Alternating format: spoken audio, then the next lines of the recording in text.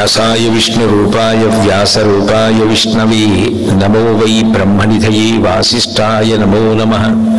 పూజంతం రామ రామీతి మధురం మధురాక్షరం ఆరుహ్య కవితాశాఖాం వందే వాల్మీకికోకిలం శృతిస్మృతిపురాణానాం ఆలయం కరుణాలయం నమామి భగవత్పాదశంకరం లోకశంకరం. వాగర్ధామివ సంపృక్తౌ వాగర్ధ ప్రతిపత్తయే జగత పితరౌ వందే పార్వతీ పరమేశ్వరౌ.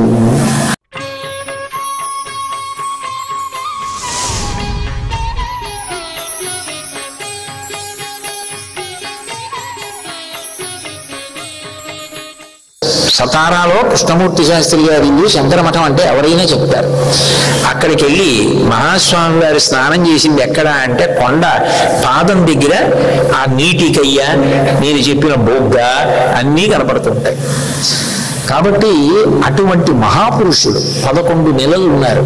ఉండి ఆయన ఒక రోజున ఆ ఊరిలో సంచారం చేస్తూ ఒక ప్రదేశానికి వెళ్ళి ఆగారు. ఆగి ఇక్కడ నటరాజస్వామి రావాలి. ఇక్కడ ఉత్తర చిదంబర క్షేత్రం రావాలి అన్నారు. ఆశ్చర్యం ఏంటంటే ఆయన సంకల్ప బలం. అక్కడ వచ్చింది క్షేత్రం. ఎలాగో తెలుసా? మనం కట్టడం కాదు. మనం కడితే అందులో ఆశ్చర్యం ఉంది మహాపురుషులు కారణజన్ముల యొక్క సంకల్పం అంటే అలా ఉంటుంది. అది దక్షిణ భారతదేశం యొక్క సమైక్యతకంతటికీ నిదర్శనంగా నిలబడింది. ఎందుకంటున్నానంటే ఆ మాట తూర్పు రాజగోపురాన్ని అంతటినీ కూడా కర్ణాటక ప్రభుత్వం నిర్మించింది. అప్పుడు ముఖ్యమంత్రి రామకృష్ణ హెగ్డే గారు. పశ్చిమ రాజగోపురాన్ని అంతటినీ కూడా మహారాష్ట్ర ప్రభుత్వం నిర్మించింది. అప్పటి ముఖ్యమంత్రి వసంతదాదా పాటిల్ గారు. అప్పటి దక్షిణ గోపురాన్ని అంతటినీ కూడా తమిళనాడు ప్రభుత్వం నిర్మించింది. అప్పటి ముఖ్యమంత్రి ఎంజి రామచంద్రన్ గారు. అప్పటి ఉత్తర రాజగోపురాన్ని ఆంధ్రప్రదేశ్ ప్రభుత్వం నిర్మించింది. అప్పటి ముఖ్యమంత్రి ఎన్టీ రామారావు గారు.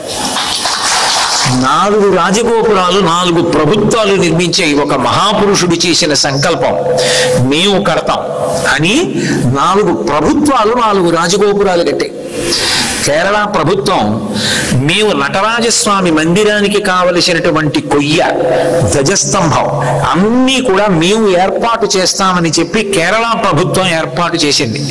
పద్మశ్రీ అవార్డు గ్రహీత ముత్తయ్య గారని ఆయన దేవాలయ నిర్మాణం చేశారు. ఒక వ్యక్తి పదకొండు నెలలలో చాలా భాగం అయిపోయిన తర్వాత సంకల్పం చెయ్యగాని అట్లా రావడం అంటే అది ఎవరికైనా సాధ్యం అవుతుందా? అలా అందరూ కలిసి వచ్చి మేమంటే మేమని ప్రభుత్వాలు రాజగోపురాలు కట్టాయి. అసలు ఆ ధ్వజస్తంభం గురించి మీరు వినాలి. అంత ఆశ్చర్యంగా ఉంటా ఉంటుంది ఆ ధ్వజస్తంభం. ఎనిమిది అడుగులు నేలలో ఉంటుంది. ముప్పై రెండు అడుగులు పైకి ఉంటుంది. నేను చెప్తున్నది నాలుగు గోపురాల్లోనూ మీరు దక్షిణ గోపురంలోంచి లోపలికి వెడితే. దక్షిణ గోపురం తమిళనాడు ప్రభుత్వం నిర్మించింది. దానికి ఎదురుగుండా ఉత్తర గోపురం ఆంధ్రప్రదేశ్ ప్రభుత్వం నిర్మించింది. విచిత్రం ఏమిటంటే ఆ దేవాలయానికి సంబంధించినటువంటి ధనాగారం అంతా కూడా ఉత్తరరాజు గోపురంలో ఉంటుంది. అక్కడే పెద్ద కోశం ఉంటుంది. ఆ కోశంలోనే ధనాన్ని ఆభరణాల్ని నిక్షిప్తం చేస్తారు. అదంతా కూడా ఆంధ్రప్రదేశ్ ప్రభుత్వ నిర్మాణం. ఎన్టీ రామారావు గారు ముఖ్యమంత్రిగా ఉండగా అది నిర్మాణం చేశారు. దక్షిణ గోపురంలోంచి మీరు లోపలికి వెళ్ళగానే ఎదురుగుండా కనపడుతుంది. ధ్వజస్తంభం. లోపల నటరాజస్వామి గారు ఉంటారు. నటరాజస్వామి దక్షిణాభిముఖంగా చూస్తూ ఉంటారు. దక్షిణాభిముఖంగా చూస్తున్నారు అంటే గుర్తు ఏమిటంటే ఎవరైతే ధర్మ వ్యతిరేకులు ఉన్నారో అటువంటి ధర్మ వ్యతిరేకులైనటువంటి వాళ్ళ యొక్క పీచం అణిచేస్తాను ఎవరు ధర్మమునందు ప్రీతి ఉన్నారో వాళ్ళని కాపాడతాను అని చెప్పడానికి అమిత్రాణం భయకరో మిత్రాణామ భయంకర అంటారు. ధర్మమునందు అనురక్తి ఉన్న వాళ్ళకి రక్షకుడు ధర్మ వ్యతిరేకులకి శిక్షకుడు. ఏకకాలమనందు ధర్మ రక్షణ అలాగే ధర్మ వ్యతిరేకులను శిక్షణ. రెండూ చేస్తారు కాబట్టి ఆయన దక్షిణాభిముఖంగా చూస్తూ ఉంటారు. ఆ దేవాలయంలోకి ప్రవేశించి ప్రదక్షిణంగా వెళ్ళాలి అంటే ముందు ఎడం చేతి పక్కకి తిరగాలి కదా. ఎడం చేతి పక్కకి తిరగగానే విఘ్నేశ్వర దేవాలయం కనపడుతుంది. మహాస్వామి వారికి విఘ్నేశ్వరుడు పిలిస్తే పలికిన దైవం. ఒక్కొక్కసారి అయితే మహాస్వామి వారు ఒక్కొక్క విఘ్నేశ్వర దేవాలయంలోకి వెళ్ళకుండా వెళ్ళిపోతుంటే వెనక్కి పిలిచాడు పరమాత్మ రమ్మనమని నేను ఇందులో ఆశ్చర్యం ఏం చెప్పట్లా? మీరు నెల్లూరులో ఉన్నారు. ఇక్కడికి దగ్గరలో చిత్తూరు ఉంది చిత్తూరు పక్కనే షేన్పెక్కమ్మని ఒక స్థలం ఉంది అక్కడ విఘ్నేశ్వరుడు యొక్క ఏకాదశ మూర్తులు ఉంటాయి అక్కడ ఒకనకొకప్పుడు మహారాష్ట్రాన్ని పరిపాలించే రాజుగారు వెళ్ళిపోతుంటే చీకటి పడిపోయింది. ఏదో చప్పుడు వచ్చి ఇరుసు విరిగిపోయింది ఏమిటి ఇరుసు విరిగిపోయిందని చూస్తే చక్రం అంతా నిత్తురుంది. ఏమైందని చూశారు? చూస్తే విఘ్నేశ్వర మూర్తులు ఉన్నాయి అయ్యబాబోయ్ ఇదేమిటని చెప్పి ఆయన చక్రం కడిగించి రాత్రంతా అక్కడ ఉండిపోయి నేను గుడి నిర్మాణం చేస్తాను నన్ను క్షమించమన్నారు. విఘ్నేశ్వరుడు కలలో కనపడి నాకు ఇక్కడ ఆచ్ఛాదనం లేని దేవాలయం కావాలన్నాడు. అందుకే ఆచ్ఛాదనం ఉండదు శేంతెక్కం దేవాలయానికి. ఏకాదశమూర్తులుగా ఉంటారు. ఆ దేవాలయం దగ్గర నుంచి ఒకప్పుడు శ- చంద్రశేఖరేంద్ర సరస్వతి మహాస్వామి వారు వెళ్ళిపోతున్నారు. వెనక జయేంద్ర సరస్వతి స్వామి వారు ఏనుగు వస్తున్నారు మహాస్వామి వారు చాలా వేగంగా నడుస్తారు. ఆయన వేగంగా నడుచుకుంటూ గుళ్ళోకి వెళ్ళకుండా వెళ్ళిపోయారు ముందుకి. అక్కడ దాకా వచ్చింది ఏనుగు. జయేంద్ర సరస్వతి స్వామి వారికి కూర్చున్న ఏనుగు. అకస్మాత్తుగా పిచ్చెక్కిన ఏనుగులా ఘీంకరిస్తూ గిరగిర గిరగిర తిరగడం మొదలెట్టింది. పైన స్వామివారు క్షేమంగా ఉన్నారు. ఆ ఏనుగును ఆపలేకపోయారు ఎవరు? అది లాగేస్తుందేమో స్వామివారిని తొక్కేస్తుందని భయపడిపోయి పరిగెత్తికెళ్ళి మహాస్వామి వారికి చెప్పారు. మహాస్వామి వారు వెంటనే కళ్ళు మూసుకుని ఆలోచించి అక్కడ షేరుపెక్కం అని విఘ్నేశ్వర దేవాలయం ఉంది. నేను దర్శనం చేయకుండా దాటాను. నూట ఒక్క కొబ్బరికాయలు కొట్టండి దర్శనానికి వస్తా అన్నారు. నూట ఒకటో కాయ కొట్టారు ఏది ఆగిపోయింది.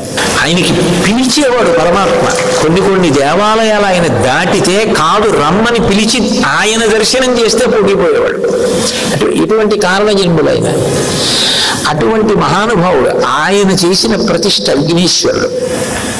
ఆయన దార్శనికతలో ఆ విఘ్నేశ్వర మూర్తి ప్రతిష్ఠ చేయబడింది. నాలుగు చేతులతో ఉంటాడు ఆయన. కుడి చేతిలో అంకుశం ఉంటుంది. అంకుశం దేనికి గుర్తు అంటే ఏనుగుని వశం చేసుకోవాలి అంటే అంకుశంతో పొడిచి వశం చేసుకుంటారు. ఏనుగు చాలా పెద్ద ప్రాణి. అయితేనే అంకుశం పెట్టి పొడిస్తే బాధ తట్టుకోలేదు. ఏనుగు ఎంత పెద్ద ప్రాణో అన్ని ప్రాణుల్లోకి అంత తొందరగా పెద్దదైపోయేది మనలో కోపం. తన కోపమే తన శత్రువు తన శాంతమే తనకు రక్షదయ చుట్టంబవు తన సంతోషమే త్వర్గము తన దుఃఖమే నరకమండృతధ్యము సుమతి అంటారు కదా బద్దెన గారు సుమతి శతకంలో. తన కోపమే తన శత్రువు తన కోపమే తన్ని పాడి చేసేస్తుంది. నేను అవతల వారిని కోపడ్డాను అనుకోండి ఆయన సమస్తం ఉమామహేశ్వర పరబ్రహ్మార్పణమస్తు అని వెళ్ళిపోయాడు అనుకోండి. ఆయన బాగానే ఉంటాడు. నాకు నా కోపం నన్ను ఏం చేస్తుంది? అంకుశం పెట్టి తల్లో పొడిచినట్టు అస్తమా అస్తమానం అదే ఆలోచనలతో నేను ఊగిపోతుంటాను. ఎవరికి కోపం ఉందో వాడు పాడైపోతాడు. కాబట్టి ఆ కోపాన్ని నేను అదుపు చేస్తాను. మా అమ్మగారు ఎలా పట్టుకుంటారో? చతుర్బాహు సమన్విత రాగస్వరూప పాషాఢ్య క్రోధాకార అంకుశోజ్వల మనోరూపిక్షుకోదండ పంచతన్మాత్ర సాయక ఆవిడలాగే అమ్మలాగే ఆయన కూడా కుడి చేతిలో పైన అంకుశం పట్టుకుంటాడు. దీక్షితారు వారు ముత్తుస్వామి దీక్షితారు వారు కూడా ఆ పట్టుకునేటప్పుడు పాశం పట్టుకుంటారు అని చెప్పి వాతాపి గణపతి భజేహం అన్న కీర్తనలో వర్ణిస్తారు. అట్లా కుడి చేతి వైపు అంకుశం పట్టుకుంటాడు ఎడం చేతిలో పాశం పట్టుకుంటాడు. ఈ పాశము అంకుశము దేనికి గుర్తంటే రాగద్వేషములు. మనం ఏ కర్మలు చేసినా సాధారణంగా ఈ రెండిటితోనే చేస్తుంటాం. అందుకే మనసు అశాంతిగా ఉంటుంది. ఒకటి రాగం. ఎవరి మీద ఉన్నో ప్రేమతో చేయడం. ద్వేషం. వాళ్ళ మీద కోపం వస్తే వాళ్ళ మీద కోపంతో వాళ్ళు బాధపడే పనులు చేయడం రెండి చేత మనసు కదిలిపోతుంటుంది అశాంతి. అసలు రాగము లేదు ద్వేషము లేదు. అది శాంతం. శాంతము లేక సౌఖ్యము లేదు సారసదళ నయన అంటారు కదా త్యాగరాజస్వామి అంటే నిన్ను కట్టినటువంటి కర్మపాశాలు ఏ ఉన్నాయో అవి విప్పేసి భక్తి పాశాలు వేసి దగ్గరికి లాక్కుంటారు.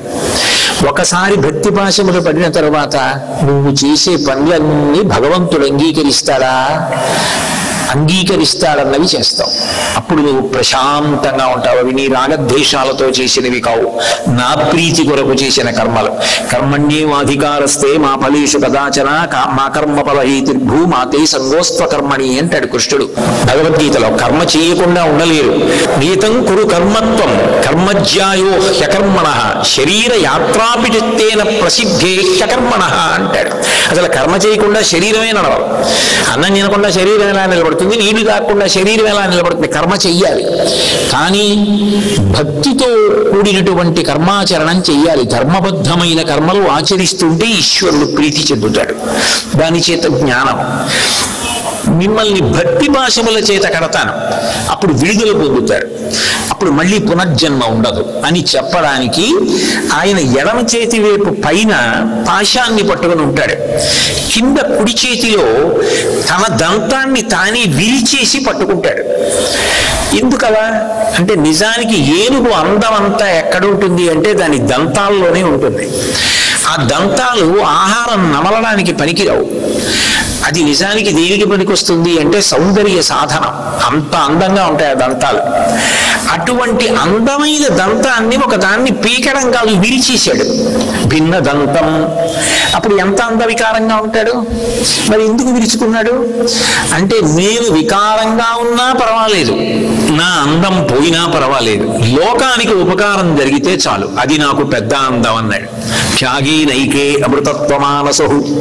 వ్యాసుడు భారతాన్ని రచన చేసేటప్పుడు నేను చెప్పేస్తుంటే వ్రాసేసేవాడు కావాలి. ఏమన్నారు? అని అడగకూడదు అట్లా వ్రాయాలి. మధ్యలో గంట మరిగిపోయింది సిరా అయిపోయింది ఇటువంటి మాటలు కుదరవు. అట్లా వ్రాసేవాడు ఉంటే భారతం చెప్తా. వేదముల యొక్క సారాంశంగా పంచమ వేదం చెప్తా అన్నాడు. అందుకే నమోస్తుతే వ్యాస విశాల బుద్ధే పుల్లారవిందాయత పత్రనేత్ర ఏన భరత తైల పూర్ణ ప్రజ్వాలితో జ్ఞానమయ ప్రదీప. మహాభారతాన్ని పంచమ వేదంగా నాలుగు వేదముల సారాంశంగా ఆయన లోకం కోసం ఇచ్చాడు. అటువంటి భారత రచన చెయ్యాలి అంటే అపూర్వమైనటువంటి ఘంటం కావాలి. అది సృష్టిలో ఎక్కడ ఉంటుంది? నాకు అందవికారం వస్తే వచ్చిందని దంతం విరిచేసి ఆయన మహాభారత రచన చేశాడు విఘ్నేశ్వరుడు. నీకు ఏది ఉందో అది లోకహితం కోసం పనికొచ్చినప్పుడే నువ్వు కీర్తివంతుడు అవుతావు నీకు ఏది అందం అనుకున్నావో నీకు ఏది భోగం అనుకున్నావో అది నీ వరకు పరిమితమైనప్పుడు కాలంలో కోట్ల మందిలో వచ్చి కోట్ల మందిలో వెళ్ళిపోయిన వాడు అవుతావు కారే రాజులు రాజ్యములు గెలువరే గర్వోన్నతిం పొందరే వారీరి. సిరి మూట కట్టుకొని పోవంజాయిరే భూమిపై పేరైనన్ కలదే. సిబి ప్రముఖులను ప్రీతిన్ యశక్కాములై ఈరే కుర్కెల్ వరలం పలపరే కాలమున్ భార్గవ అంటారు భాగవతంలో. త్యాగము చేత మనిషి అమృతత్వాన్ని పొందుతాడు. నీకు భగవంతుడు ఏది ఇచ్చాడో. దాన్ని నిస్వార్థంగా నువ్వు సమాజానికి అంకితం చేయాలి అక్కడ అమృతత్వం ఉంది. అందుకు భారత రచనకి నా దంతాన్ని నేనే విరిచాను. అని చెప్పడానికి భిన్నదంతుడై చేతిలో విరిగినటువంటి దంతపు ముక్క పట్టుకుని ఉంటాడు. అనేకమైనటువంటి విఘ్నేశ్వర స్వరూపాలు ఉన్నాయి కానీ లోక హితములకు ఏ ఆయుధాలు ఆయన చేతిలో ఉంటే పనికొస్తుందో ఆ ఆయుధములతో ఉన్న విఘ్నేశ్వరమూర్తిని ప్రతిష్ట చేశారు. అట్లాగే ఆయన ఎడం చేతి వైపు మోదకం పట్టుకుని ఉంటాడు. మోదకం పట్టుకుని ఉన్నాడు అంటే అర్థం ఏమిటి అది ఎవరు తింటారు అలాగా? మీరు నాకు పలహారం పెట్టారనుకోండి. ఏమంటే మా ఇంట్లో కొద్దిగా పలహారం చేతురు కానీ రమ్మన్నారు అనుకోండి. అంటే నా ఉద్దేశం నన్ను రమ్మని పిలవమని కాదు సుమా వచ్చాను అనుకోండి మీరు నాకు వీధిలో పెడతారా? ఇంట్లో పెడతారు. పోయి ఇంట్లో పెట్టారు. నేను తింటూ మధ్యలో ఓ లడ్డు సగం తిని చేత్తో పట్టుకుని వీధిలోకి వస్తానా? అట్లా రాను. తిని కాళ్ళు చేతులు కడుక్కుని బయటికి పెడతాను కానీ మరి పిల్లలు ఏం చేస్తారు? సగం తిని చేత్తో పట్టుకుని బయటకు పెడతారు విఘ్నేశ్వరుడి లక్షణం ఏమిటి? సంతత బాలుడు. ఆయన ఎప్పుడూ పిల్లవాడిగానే ఉంటాడు. సదాబాల రూపాప విఘ్నాద్రి హంత్రి అంటారు శంకరాచార్యుల వారు. ఎప్పుడూ బాలుడే. ఎప్పుడూ బాలుడే అంటే కోపం అర్థం ఏమిటి? అంటే అప్పటికప్పుడు కోపం వస్తుంది అప్పటికప్పుడు కోపం పోతుంది. కోపం శాశ్వతంగా ఉండదు. పెద్దవాళ్ళు అయిపోయారు అనుకోండి కోపం వచ్చిందంటే ఇంకా అలా మనసులో పెట్టుకుని ఉంటాడు. మంచిగా ఉన్నట్టు ఉంటాడు కానీ లోపల ఏ భావాలు ఉన్నాయో ఎవరికీ తెలియదు. కానీ ఒకసారి కోపం వస్తే కోపం చూపించేస్తాడు వెంటనే కోపం పోతుంది ప్రశాంత పడిపోతాడు ఎవరితోనో మాట్లాడుతుండగా వచ్చి మీద పడిపోయి తాతగారు తాతగారు నేను ఆ పండు తీసుకోనా దండ తీసుకోనా? అంటాడు. కాసేపు మాట్లాడకుండా ఉంటావు అప్పో లోపలికి. అని కోడలు విడిచి అమ్మ వీడిని తీసుకెళ్ళి లోపలికి. అన్నాను అనుకోండి వాడికి కోపం వచ్చేస్తుంది. తాతగారండి అని ఏడుపు మొదలెడతాడు. మళ్ళీ కాసేపు అవి వాళ్ళు వెళ్ళిపోయిన తర్వాత నేను ఎందుకు చదువుకుంటుంటే వాడే వచ్చేసి తాతగారండి తాతగారండి అని వాడే కబుర్లు మొదలెడతాడు. అంటే వాడికి కోపం ఏది? కోపం ఉండదు. అందుకే చంద్రుణ్ణి శపించాడు. తప్పు చేశాడని. ఆ చంద్రుడు మారాడు. మారేడురా తప్పు తెలుసుకుని ఆయన నృత్యం చేశాడు. ఆయన నృత్యం చేయడానికి ఆయన శరీరం అనుమతించదు నిజానికి లంబోదరం శూర్పకర్ణం గజవక్త్రం చతుర్భుజం పొట్టిగా ఉంటాడు. ఆయన నృత్యం చేస్తే ఏం బాగుంటుంది? అంటే ఆనందం పట్టలేదు. అవతల వాడు తప్పు చేసిన వాడు మారితే ఈయన నృత్యం చేస్తాడు. అంత ప్రసన్న హృదయుడు వినాయకుడు. అది చెప్పడం కోసమని సంతత బాలుడు. ఆయన మీ అపరాధములను బంధిస్తాడు. మీ అపరాధములను పట్టించుకునే లక్షణం ఆయన ఎందు లేదు? మీరు మారితే చాలా ఆయన మురిసిపోతాడని చెప్పడానికి పిల్లవాడి లక్షణం. అందుకని చేతిలో మోదకం పట్టుకుంటాడు. రెండు పైకి మాయి చేత ఆవరింపబడి బ్రహ్మమున్నది. పైకి పిండి లోపల కొబ్బరి. జగత్ మిథ్య బ్రహ్మ సత్యం. అందుకని మోదకం పట్టుకుని ఉంటాడు. అటువంటి పరబ్రహ్మ స్వరూపమైనటువంటి విఘ్నేశ్వరమూర్తి ఉంటారు మీరు ప్రదక్షిణంలో విఘ్నేశ్వరుణ్ణి దాటి కొంచెం ముందుకెళ్ళగానే రాధాకృష్ణులు ఉంటారు.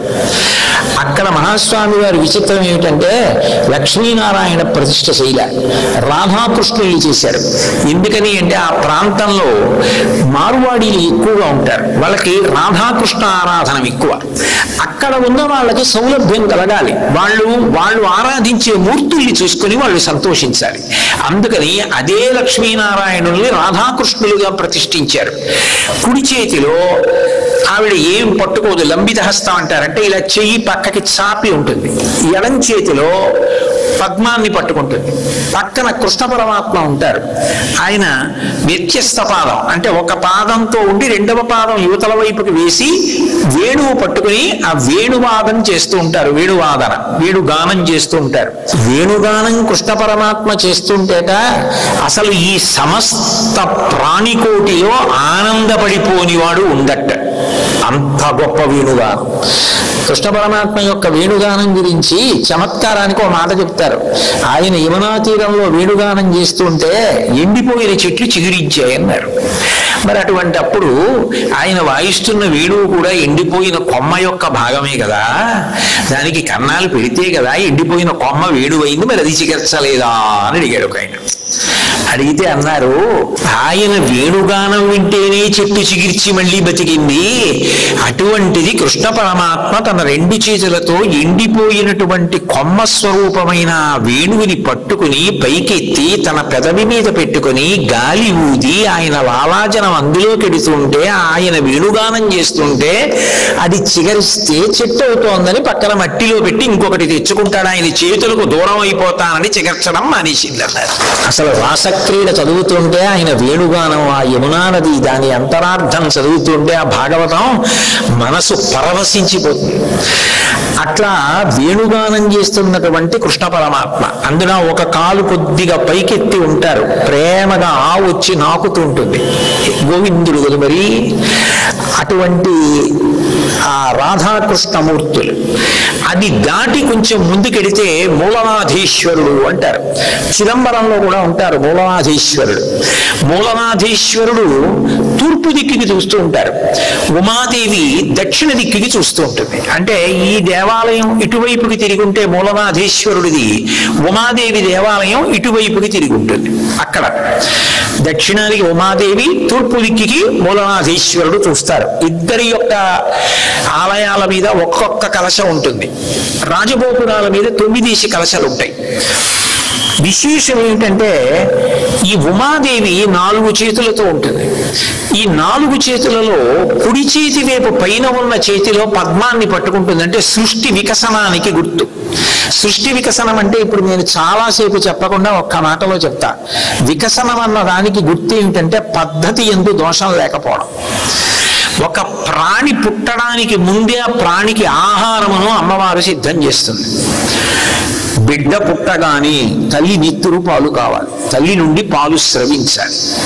అంతేగాని బిడ్డ పుట్టిన తర్వాత పాలు స్రవించడంలో దోషం వచ్చిందనుకోండి బిడ్డ బతకదు బిడ్డ పుట్టేటప్పటికే ఆహారం సిద్ధంగా ఉంటుంది. బిడ్డ పెరిగేటప్పటికి తనంత తాను ఆహారం తినడం దానికి అలవాటు కావాలి. ఇది సృష్టిలో వికసనం అంటారు. అనేకమైన విషయాలను ఆవిడ అంత పొందిగ్గా అమరుస్తుంది. అది నా గొప్పతనం ప్రకృతి స్వరూపిడిగా అని చెప్పడానికి కుడి చేతిలో పైన పద్మం పట్టుకుంటుంది. ఎడం చేతిలో దర్పణం పట్టుకుంటుంది. అంటే అద్దం. అద్దంలో ఎవరు కనపడతారు? అద్దంలో ఆవిడే కనపడుతుంది. ఆవిడ ముఖం అద్దం అయితే కరాగ్రీణ స్పృష్టం దుహినగిరిణ వత్సలతయా అంటారు శంకర్లు సౌందర్యలహరిలో. ఆవిడ ముఖం అద్దం అయితే దాని పిడిలా ఉంటుంది గడ్డం పట్టుకుని శంకరుడు ఎంతో సంతోషంగా ఇలా చూస్తాట అమ్మవారి ముఖం. అప్పుడు ఎవరు కనపడతారంటే ఆవిడ ముఖం అద్దం అయితే ఆయన కనపడతాడు. అంటే లోకమునందు లోకేశ్వరుడు విశ్వమునందు విశ్వనాథుడు కనపడాలి. రెండు ఆవిడ పరమ సంతోషంగా ఉందని చెప్పడానికి గుర్తు ఏమిటంటే అద్దం పట్టుకుని ఉంటుంది. కింద కుడి చేతిలో వరదహస్తం. వరదహస్తం ఇలా ఉంటుంది. అంటే మీరు ఏమి కోరుకుంటున్నారో అవి నేను ఇవ్వగలను. అవి మీకు అవసరములైనప్పుడు ఇస్తాను. అమెరికా అధ్యక్ష పదవి నేను అడిగితే మాత్రం నాకు ఎందుకు చెడిపోవడానికి తప్ప. అందుకని ఆవిడ ఇవ్వదు. అమ్మాయి ఇంకో పుస్తకం చదువుకుని చెప్పే అదృష్టం ఇమ్మంటే ఇస్తుంది. నాకేది అవసరమో అది ఇస్తుంది. అంతేగాని నేను పాడైపోయి అడిగినా ఆవిడ ఇవ్వకూడదు. అది చెప్పడానికి వరదహస్తం. అందుకని కోరికలు ఎన్ని కోరినా ఇంకా కోరుతుంటావురా? తెలియక అవసరానికి కోరికకి మధ్య ఉన్న భేదం తెలియక అడుగుతావు. అందుకని కిందకి చూపిస్తూ ఉంటుంది.